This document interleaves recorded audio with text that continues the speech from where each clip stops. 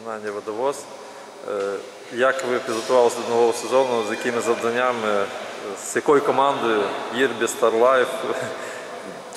Да, мы начинали как Кирбис, теперь э, мы, и работ- мы играем под э, маркой э, ка- б- баскетбольного клуба Starlife. Это команда, будем говорить так, дублеров э, баскетбольного клуба Starlife, которые играют э, в первой лиге ФБУ. В этом году начинает стартовать. Несколько человек из наших детей будет играть там. Э, и они уже проходили предсезонный сбор, когда был Спиридонов Денис, который будет играть у нас. В общем, пока так. Мы готовимся к чемпионату Украины в ЮБЛ 2001 года рождения мальчики. Э, Задача стоит выйти из группы. В принципе, задача нам под силу. Э, Играет в нашей подгруппе 5 команд. Ровно, Тернополь, Франковск, Калуш и мы. Первый тур с 5 по 8 октября в городе Ровно. Э, Команда выезжает, я думаю, что практически в полном составе. То есть у нас есть пару травмированных, э, которые, я так думаю, что восстановятся уже ко второму, к третьему туру. Но, в принципе, то есть настрой боевой. Мы прошли сбор м, 21 день в Хмельницкой области, отработали. Сейчас работаем в зале, в одном, в 22 школы и во втором, э, в 28 И раз в неделю мы готовимся к играм, э, играя против студентов ЧНУ. Хто з ваших приглянувся першій команді? Приглянулся Белоусов Альберт, то есть парень достаточно как бы перспективный, ростовой. Э, Приглянулся Родомский Александр, он молодой, 2002 года, 9 класс, 10 класс, то есть у него еще как бы следующий год в ЮБЛ у него еще как бы впереди. Э, Цуркан Никита, он от- отыграл первый сезон уже, то есть как бы с командой, которая участвовала в ЮБЛ, и вот сейчас будет у нас основным первым номером на этих соревнованиях. То есть вот это три человека, которые... И есть молодая поросль, то есть которые пришли, то есть еще не тренируясь год, они уже побывали на сборах со сборной Украины.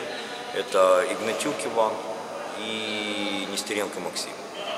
Ну, ви паралельно стежите, напевно, і за долею е, Артура Флештаханова. Мы с ним постоянно списываемся, постоянно созваниваемся, где-то там э, советуемся, где-то мы друг другу как бы там помогаем там, какой-то информацией.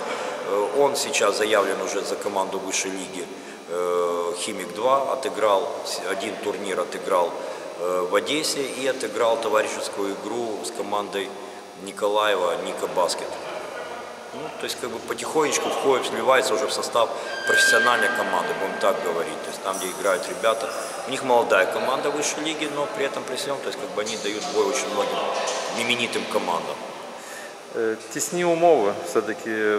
Ми приречені працювати лише на інші команди. Чи є якесь світло в кінці тунелю, що в Чернівцях може щось бути Ну, будем серйозніше? говорить так, я надеюсь, как бы вот этот вот э, первый шажочек команды Starlife, которая будет играть в первой лиге, и надеюсь, что мы, наши игроки будут пополнять эту команду, то есть игроки дубля, так называемого дубля, то есть это в принципе так и есть. Э, Условия, конечно, будем говорить так, не ахти, потому что ну, это уже взрослый возраст, старший возраст. И я так думаю, что никто из команд, с которыми мы встречаемся на ВЮБЛ, э, в таких условиях даже не то, что не, не, не работает и не хочет работать. У нас просто мы, ну, будем говорить так, то есть есть как бы объективные причины, есть субъективные причины, почему мы работаем именно в таких условиях. Но то есть другого выхода нет, надо играть, потому что надо подтягивать малышей, которые у нас есть уже там 2005 год, там у тренеров там Прохницких, у меня есть 2006-2007 у Чехимского есть, у э, Таня Рыжка в 16 школе. То есть, как бы, поэтому то есть, дети должны смотреть не только на взрослых, которые играют в первой лиге, дети должны смотреть на команду, которая школьников, которая играет и является, как бы, ну, будем говорить так, каким-то определенным идеалом для того, чтобы в нее попасть. 22 школа довгий час була такою баскетбольною, можна сказати, да? Тепер, Да. в принципі, трошки таке враження, що акцент трішки змістився, хоча ніби відчуваються якісь бажання і, і знову бути баскетбольною, але не знаю, якесь єдиноборство тут. Ну, насколько я знаю, то есть я э, с девян- с 92 года, как бы эта школа была базовая баскетбольная для всего города. То есть у нас таких школ было раз-два и обчелся, то есть была шестая школа, была 27 и 22 то есть акцент сместился, будем говорить так, из центра. Раньше была первая, пятая школа, как бы больше баскетбольная, там пятая гимназия, сейчас как бы вот такое. Да, то есть как бы вот для нас стало э, таким сюрпризом неожиданным э, то, что немножко сместились акценты, и мы сейчас, будем говорить так, вместо того, чтобы полноценно работать два часа в зале э, именно баскетболом, потому что физподготовку мы подогнали на сборах, нам приходится то есть, еще час работать э, с отягощениями и физподготовкой, чтобы не терять просто, будем говорить, э, темп тренировочный и, соответственно, то есть работать потом уже час вот в зале, который есть. Ну и два часа мы тренируемся в зале 28 школы, которую нам любезно предоставила 28 школа. Можуть Чернівці стати баскетбольним містом? Думаю, что да, то есть когда-то же были, то есть у нас были хорошие игроки, у нас были игроки, которые попадали э, в команды школьников э, Союза, то есть Илья Хаймович Ходж, допустим, да, у нас был Мирчик Мирчик, Кожелянко. Мирчик Кожелянко был, у нас э, были достаточно неплохие и тренера, и сюда приезжали очень именитые команды и тренера. Я, будучи, работая в Днепропетровске, э, очень много разговаривал с заслуженным тренером Советского Союза Майзельным. И он, и он тоже, кстати, приезжал сюда, еще играл против команды моего покойного отца, то есть он приезжал сюда на чемпионат Украины. Были здесь чемпионаты Союза по вооруженных силах. Ну, очень много, в принципе, соревнований было достаточно много. Тут были чемпионаты Украины среди ну, тогда еще техникумов, не колледжей. И наш строительный техникум, кстати, показал очень доста- ну, достойный результат. Они, по-моему, попали в четверку на Украине. То есть я считаю, что то есть, есть все предпосылки. Э, Единственное, конечно, не хватает зала, будем говорить так.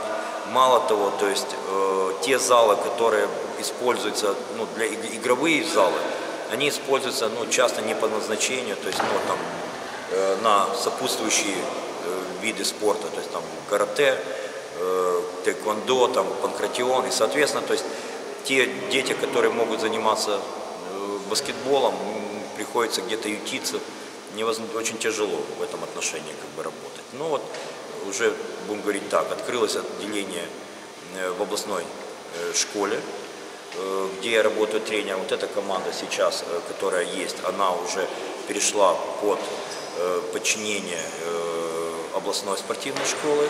Э, И еще одна у меня группа малышей, которая в 28-й школе, они тоже вот сейчас по- уже под этой областной. Но пока на данный момент мы работаем на базах, которые э, сами для себя то есть, нашли. То есть 22-я школа любезно предоставлена, 28-я. Ну, я же говорю, и педколледж, в котором мы э, каждую неделю сражаемся со студентами.